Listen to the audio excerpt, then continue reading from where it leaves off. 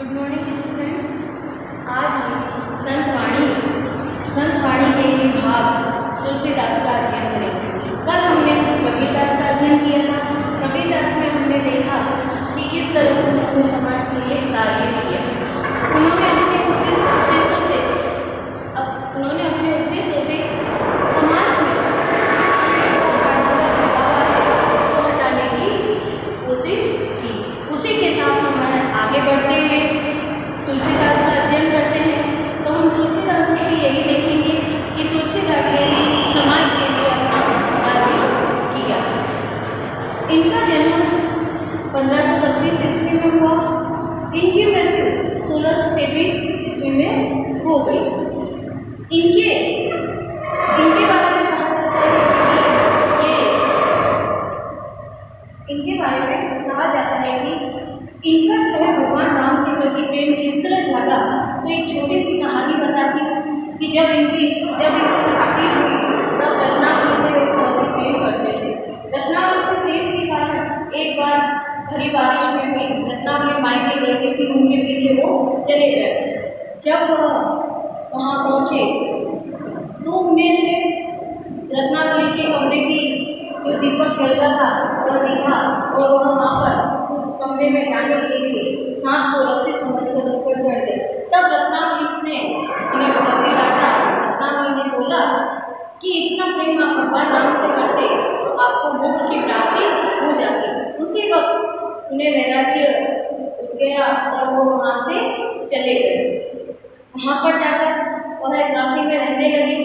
अब नरहरिदास को है, उन्होंने अपना गुरु बनाया और उन्हीं के आश्रम में रहते हुए जो रामचरित्र ग्रंथ है उन्होंने लिखा था। रामचरित्र मानस लिखा उसी के साथ उन्होंने ब्रज भाषा में अवधि भाषा में कई सारे ग्रंथों की रचना की, जिसमें हम पूछे, विनय पत्रिका विनय पत्रिका कवितावली दुभावली गीतावली, ये सब हम देखते हैं। अब हम समाज सुधार की बात करें तो तुलसीदास ने अपने दोहों में समाज सुधार के लिए कई कार्य किए दोहों के माध्यम से उन्होंने समाज में फैले वाला अंधविश्वास आडम्बर को मिटाने की कोशिश की है। अब हम इसी के कुछ दोहे हैं। आज हम उनका अध्ययन करेंगे, जो आपकी पाठ्य पुस्तक में है। काम क्रोध मन रस राव सत्य के किन्हीं जाननी रघुपति यह दुआ उनके जीवन से जुड़ा था। कि किस तरह से व्यक्ति काम, क्रोध, नशे में, लोभ में, उसमें डुबावा रहता है तो वो दृष्टि के दुख के रूप कहलाते हैं।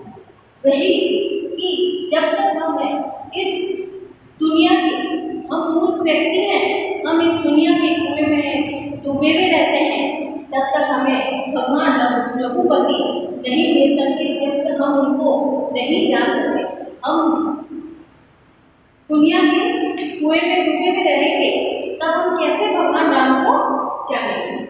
उसी तरह आगे के लिए है, भगवान राम से जुड़ा हुआ है कि कहीं भी कह रचना रची सुनी भी कह की कान धरी भी कह चित्त हित सहित वर्मा रखी सुजान कि हमें सुनने को सुनने को है भगवान ने काम किए और बोलने को है जीव की रचना की। ये इसलिए कि हमें हमेशा अच्छा बोलना और हमें अच्छी बातें सुननी है और हमें हमेशा अपने हृदय में वर्तमान परोपकार की बातें रखनी है परोपकार का कार्य करना है तभी हम सच्चे व्यक्ति बन सकते हैं उसे क्या है तुलसीदास से कहते हैं तुलसी भर सुसंगते और सुसंगति सोई नाव किन्नरी देव रसी लोह विरोह की हो इसमें जो बताया गया है सत्संगति की बात बताई है कि हमें हमेशा सत्संगति भी रखनी चाहिए अच्छे व्यक्तियों का साथ रखना चाहिए पूरी संगति से हमारा जीवन बर्बाद हो सकता है। किस तरह से होता है? देखिए कि नाम किन्नरी तीर असी कि एक लोहा होता है।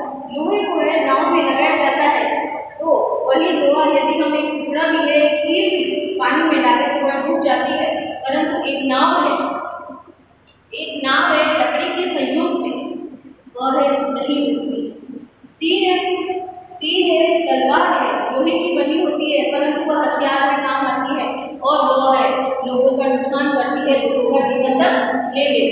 लोहा तो वही है, फलक दोनों की है, संगति का फलक है। उसी तरह हमें भी अपने जीवन में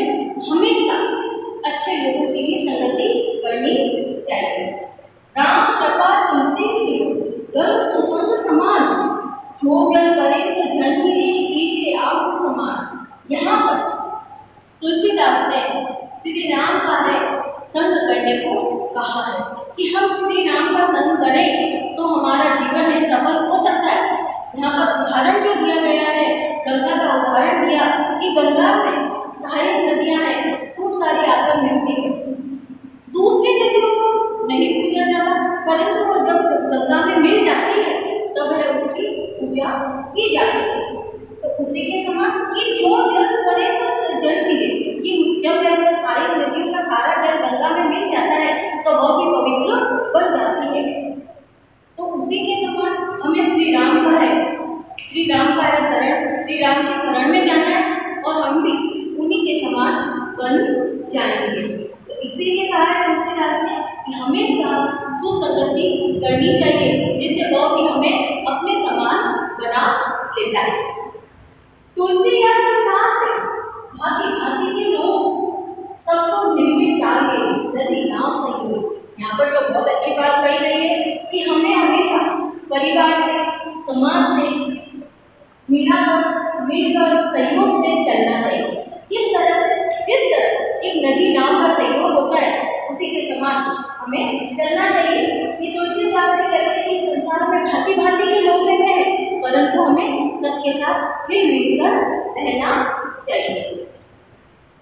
इसी तरह आगे बढ़ते हैं। इस दोहे में तुलसीदास ने वाणी का महत्व बताया कि किस तरह से हमारे जीवन में वाणी का महत्व होता है कि तुलसी पावस की कोकिला कोल कि कोकिला कोकिला कोयल पावस के समय वर्षा ऋतु होती है उस समय कोयल है अपना मुँह बंद कर लेती है, वह उस वक्त नहीं बोलती है।